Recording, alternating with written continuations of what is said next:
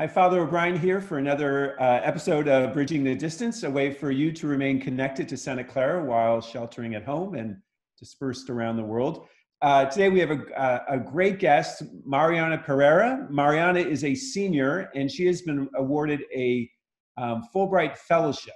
Uh, the Fulbright is a very distinguished fellowship. It, it, began after World War II as a way of connecting students and faculty in the US to other countries to build um, international harmony.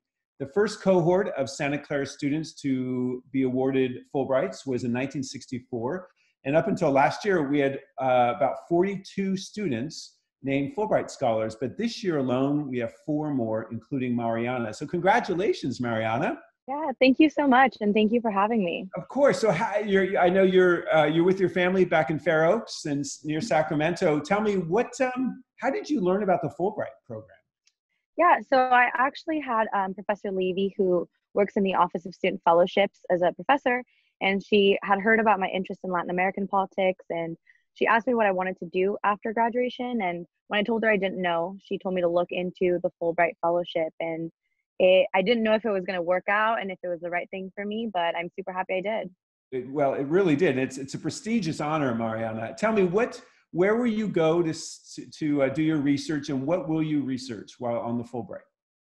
So I will be researching uh, disability rights in Brazil and focusing specifically on intellectual disabilities and how those are being addressed in Brazil, as well as how organizations and society can kind of work together and advocate um, and influence policy. Now, how did you end up choosing that topic as your research focus? Um, so I actually had a personal connection to disability rights because I have a 17 year old brother with developmental disabilities. And so I've seen my parents really work their way through the disability rights system here in California and in Mexico City where we were born. And so seeing how lucky we are to live in a state that is um, that treats people with disabilities really great and provides services made me wonder about the places that were potentially lacking that and not really living to their full democratic values. Gotcha. Um, and so if you're if you're going to be studying in Brazil, you must, uh, I guess you'll have to know Portuguese. How's your Portuguese?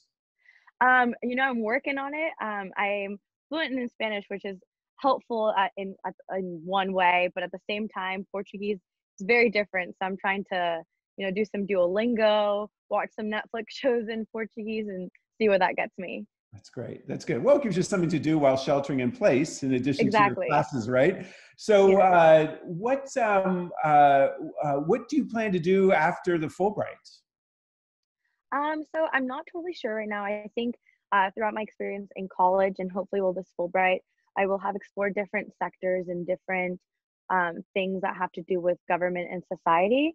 And so hopefully I will be able to pinpoint what I want to do with that. But ultimately i know i want to do something with advocacy and public policy and the promotion of democracy because i believe that a government isn't democratic unless it's providing and treating all citizens equally despite of their abilities.